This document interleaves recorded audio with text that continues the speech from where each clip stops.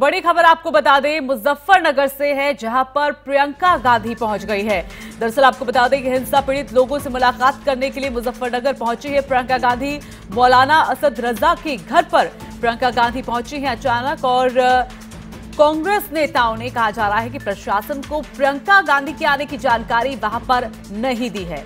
तो मौलाना असद रजा के घर पर प्रियंका गांधी पहुँच चुकी है, मुजफ्फरनगर पहुँची है, अचानक पहुँची है और उसी की जानकारी कांग्रेस के किसी नेता ने प्रशासन को नहीं दी है। यानी कि अचानक ही ये पूरा जो मुलाकात का जो वक्त है जो जगह है वो यहाँ पर तय की गई है। लेकिन कानो कान खबर इसकी प्रशासन को नहीं लगी।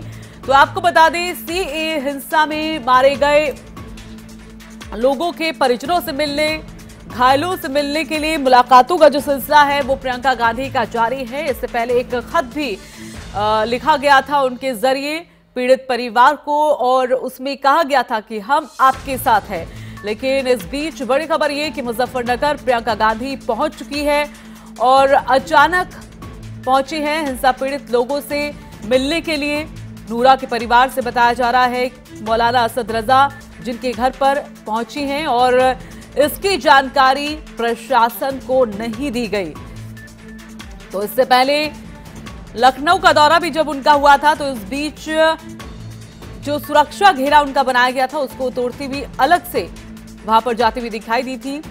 घायलों के परिजनों से मिलने के लिए, उनसे मुलाकात करने के लिए, और एक बार फिर से ऐसा ही ये मामला दोबारा सामने आया है, जब प्रियंका गांधी के आने जाने की कोई जानकारी प्रशासन को दी ही नहीं गई है।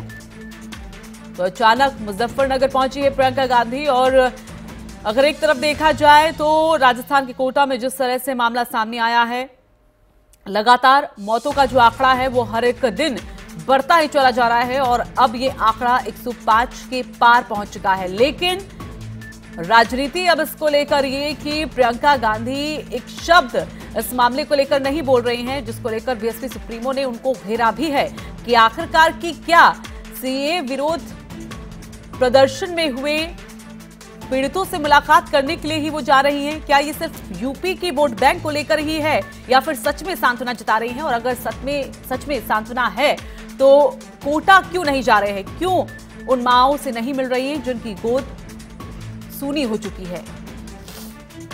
तो फ़िलहाल ये तस्वीरें आपको दिखा दें। मौलाना असद रजा के घर, मुजफ्फरनगर। प्रियंका गांधी अचानक पहुँची है, जिसकी जानकारी किसी को नहीं मिली है। तो नूरा के परिवार जो सीए हिंसा में बारे गए, उन्हीं के परिवार से उनको सांत्वना देने, उन्हें ढांढस बधाने के लिए प्रियंका गांधी मुजफ्फरनगर पहुँची हैं। लेकिन अब सवाल कई प्रियंका गांधी की मुजफ्फरनगर जाने को लेकर उठ रहे हैं। सबसे पहला सवाल ये कि आखिरकार इस बात की जानकारी प्रशासन को क्यों नहीं दी गई है? तो अचानक कैसे ये प्लान बना और आखिरकार इतना फोकस यूपी को लेकर क्यों? राजस्थान के कोटा को लेकर क्यों नहीं? क्योंकि अगर वहाँ पर देखें तो वहाँ पर भी स्थिति बेहद ही गंभीर है। खुद राजस्थान में कांग्रेस की सरकार है तो ऐसे में ये सवाल उठ रहे हैं।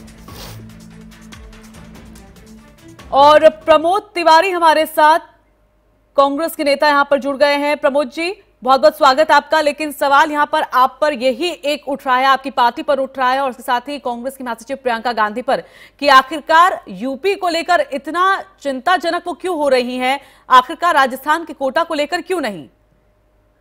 क्या ये देखा जा रहा है कि कौन सी ज़्यादा अहमियत रखता है प्रदेश?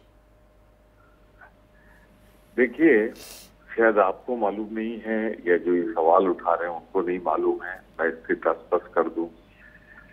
अखिल भारतीय कांग्रेस कमेटी की महासचिव है प्रियंका गांधी और उनके पास प्रभार चार्ज उत्तर प्रदेश का है। तो निश्चित रूप से उत्तर प्रदेश में जो भी घटनाएँ होती है, जहाँ भी किसी के आँख में आँसू हो, पीड़ा हो, दर्द हो, संगठन हो अच्छा कार्यक्रम हो, दुखी कार्यक्रम हो, वहाँ सबसे पहले पहुँचने की ज़िम्मेदारी आदरणीय प्रियंका जी की है। और वो इस ज़िम्मेदारी को बखूबी निभा रही सोनभद्र हो, चाहे मेरठ हो, चाहे बिजनौर हो, चाहे लखनऊ हो, सब जगह जा भी रही उन्नाव की पीड़िता की भी आवाज़ उठाई। जहाँ तक सवाल राजस्थान का है, राजस्थान के प्रभारी श्री पांडे जी हैं हमारे, और वो वहाँ हो आए हैं हमारे स्वास्थ्य मंत्री जी भी। ये उनकी चिंता का विषय है। प्रियंका जी के कार्य विभाजन में उत्तर प्रदेश है। राजस्थान में। प्रमोद जी प्रमोद जी क्या आप मैं सवाल कर सकती हूँ? कर ही रही हैं जितना तो जितना मुझे जितना मुझे जानकारी है आपने जानकारी की परख कर दी लेकिन क्या इंसानियत के नाते यहाँ पर एक ट्वीट नहीं किया जा सकता था एक बयान नहीं दिया जा सकता था? क्या कांग्रेस पार्टी में एक दायरा यहाँ पर बना दिया गया है कि अगर आपको यूपी का प्रभार दिया गया है तो आप यूपी की बात करिए। बस यूपी में घूमिए और यूपी में ही मुलाकातों का सिलसिला जारी रखिए। या फिर आप अपनी पार्टी लाइन से इतर या फिर आप किसी पर कुछ कमेंट ही नहीं करना चाहते जबकि राजस्थान के कोटा का मामला इतना संवेदनशील है आपकी खुद की सरकार है। सर कुछ तो थोड़ा इंसानियत के नाते यहाँ पर बोलना चाहिए ना प्रियंका गांधी को। वो अपने वो अपना फ़र्ज़ बखूबी निभा रही हैं बखूबी निभा रही होंगी वो यूपी के लिए। बहुत अच्छा किया आपने इंसानियत का जो थोड़ा बहुत सबक सिखाया है उसके लिए धन्यवाद। आप शायद मेरे ख्याल से पूरे ट्वीट उनके फॉलो नहीं करती है जहाँ कहीं भी देश में कभी ऐसी कोई बात आती है निश्चित रूप से वो उस पर अपना सवाल अपनी चिंता अपना दुख ज़ाहिर करती है। अभी तक आपको ये था कि वो वहाँ क्यों नहीं जा रही कि मैंने स्पष्ट कर दिया तो ट्वीट पे आप आ गई हैं तो जहाँ तक सवाल है हमारी अखिल भारतीय राष्ट्रीय कांग्रेस की राष्ट्रीय अध्यक्ष आदरणीय सोनिया गांधी जी ने सिर्फ़ ट्वीट नहीं किया है। समन किया है और बुलाकर अरे सर प्रमोद जी अब आप आप अभी भी नहीं समझे हम प्रियंका गांधी की बात कर रहे हैं। रोकना चाहूँगी। कैलाश विजयवर्गीय जी जुड़ गए हैं राष्ट्रीय महासचिव बीजेपी के। कैलाश जी प्रमोद जी का ये साफ़ कहना है कि क्योंकि ज़िम्मेदारी प्रियंका गांधी को यूपी की दी गई है तो वो यूपी की ज़िम्मेदारी को निभा रही हैं। राजस्थान के प्रभारी अपनी ज़िम्मेदारी को निभा रहे हैं वो उस पर कुछ कमेंट नहीं करेंगी।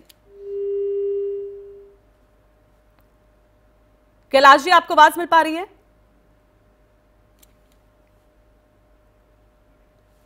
चलिए लगता है संपर्क उनसे यहाँ पर कट गया है। कैलाश विजयवर्गीय एक बार फिर से कोशिश करेंगे उनसे यहाँ पर जुड़ने की, लेकिन बयान यहाँ पर आपने कांग्रेस पार्टी के एक नेता प्रमोद तिवारी का यहाँ पर सुना, जिन्होंने ये साफ़ कहा जब उनसे पूछा गया कि आखिरकार राजस्थान के कोटा के मामले को लेकर क्यों संवेदनशीलता यहाँ पर नहीं दिख रही है प्रियंका गांधी की। और ऐसे में उनका यहाँ पर यही कहना है कि ज़िम्मेदारी चूँकि यूपी की है और ऐसे में वो राजस्थान के लिए क्या ही यहाँ पर बोलेंगी? तो प्रमोद तिवारी जी हमारे साथ लगातार जुड़े हुए हैं। प्रमोद जी, क्या आप अभी भी नहीं मानेंगे कि शायद कुछ तो यहाँ पर बयान यहाँ पर आना चाहिए था प्रियंका गांधी का? सर, आपको शायद आंकड़ा तो पता ही होगा। आप जिस तरह से मुझे ज्ञान दे रहे हैं, आपको मुझसे ज़्यादा ज्ञान है।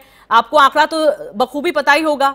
तो ऐसे में फ़र्ज़ नहीं बनता है कि एक संवेदनशीलता या एक ढांढस, एक सांत्वना के तौर पर परिवार से या फिर एक अ, कुछ बयान दिया होता है यहाँ पर?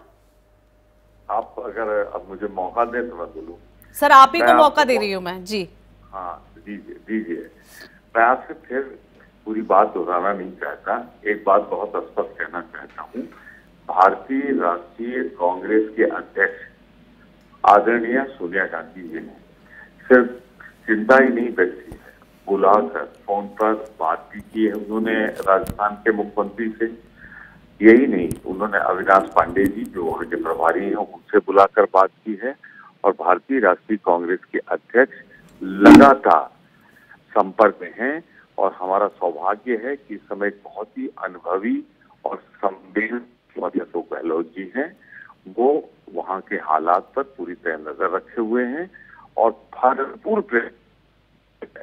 इसी तरीके से, क्योंकि संख्या पे हम नहीं जाते, एक बच्चे की मौत भी पीड़ादायक है, दुखदायी है और हमें दुख है। हम सब उस संवेदना व्यक्त करते हैं सामूहिक रूप से और संबित पात्रा जी, बीजेपी प्रवक्ता हमारे साथ जुड़ गए हैं। संबित जी, ये आपने बयान यहाँ पर सुना होगा, प्रमोद तिवारी का नहीं सुना तो बता देती हूँ, उनका कहना है कि कांग्रेस का एक दायरा है। अगर प्रियंका गांधी यहाँ पर राजस्थान का ज़िक्र नहीं कर सकती हैं, सिर्फ़ यूपी का ज़िक्र कर सकती हैं। एक कहीं ना कहीं लाइन खींच दी गई है कि आप किसी और प्रदेश का ज़िक्र नहीं करेंगे। चाहे अ, मामला कितना भी गंभीर हो कितना भी संवेदनशील।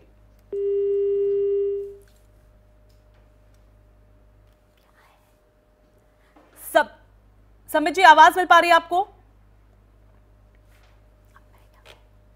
तो चलिए कोशिश करेंगे फिर से संपर्क करने की क्योंकि ये मामला बेहद ही संवेदनशील है। विपक्ष जिस तरह से लगातार अब तक सरकार को घेर रहा था अब कहीं ना कहीं एक बड़ा मुद्दा यहाँ पर सरकार को मिल गया है विपक्ष को घेरने को लेकर क्योंकि सीएए को लेकर जिस तरह का विरोध प्रदर्शन हो रहा था और सरकार को लेकर जमकर घेरा जा रहा था, उसी पर अब जब पीड़ितों से मुलाकात करने के लिए प्रियंका गांधी यूपी के हर एक जगह का दौरा कर रही हैं और अचानक पहुँच रही है, प्रशासन को इसकी जानकारी नहीं दी जा रही है तो ऐसे में सवाल ये उठता है कि क्या सिर्फ़ नज़रें यूपी को लेकर ही टिकी हैं? क्या नज़रें सिर्फ़ 2022 को लेकर ही टिकी हुई हैं? क्या राजस्थान की तरफ़ नज़रें करने के लिए यहाँ पर मना कर दिया गया है? और प्रमोद तिवारी जी जुड़े हुए हैं। प्रमोद तिवारी जी, माफ़ कीजिएगा, एक बार फिर से यही पूछना चाहूँगी, क्योंकि आपने शायद सवाल ना सुना हो, क्योंकि मैं सोनिया गांधी का ज़िक्र तो कर ही नहीं रही हूँ, सिर्फ़ प्रियंका गांधी का ज़िक्र कर रही हूँ, क्योंकि जो लगातार यूपी में जा रही है, पीड़ितों से मिल रही है। मैं आपके सवाल का जवाब दे रहा हूँ, जब आप समझने की कोशिश करें ना, आपको मैंने बताया, कार्य विभाजन है, उत्तर प्रदेश के बारे में प्रियंका जी देखती हैं और वहाँ वो अपने दायित्व का निर्वाह कर रही हैं। जहाँ तक सवाल राजस्थान का है, वहाँ अविनाश पांडे जी प्रभारी हैं और वो लगातार वहाँ पर रुके हुए हैं। फिर राष्ट्रीय अध्यक्ष हमारी आदरणीय सोनिया गांधी जी के बारे में मैंने बताया, उन्होंने सिर्फ़ चिंता ही नहीं व्यक्ति कड़े निर्देश दिए हैं कि बच्चों के बारे में तीमारदारी हो, देखा जाए। अब हमारी राष्ट्रीय अध्यक्ष भी बोल चुकी, महामंत्री बोल चुकी, सब लोग तो चिंता व्यक्त कर चुके हैं। तो अब आप कहना क्या चाहती है कि मतलब तो जो उत्तर प्रदेश का प्रभारी है वो राजस्थान के बारे में बोले। चलिए सर विभाजन का कोई मतलब नहीं है। चलिए बहुत बहुत धन्यवाद आपका हमारे साथ जुड़ने के लिए और अपनी बात यहाँ पर रखने के लिए जो कि कहीं ना कहीं कांग्रेस शायद अपनी बातों को लेकर स्टैंड नहीं रख पाती है और ये समझ नहीं पाती है कि शायद वक्त के साथ साथ ही बयान भी यहाँ पर बदलने चाहिए और इसके साथ ही एक संवेदनशीलता कम से कम उस खबर को लेकर होनी चाहिए जहाँ पर खुद कांग्रेस की सरकार हो।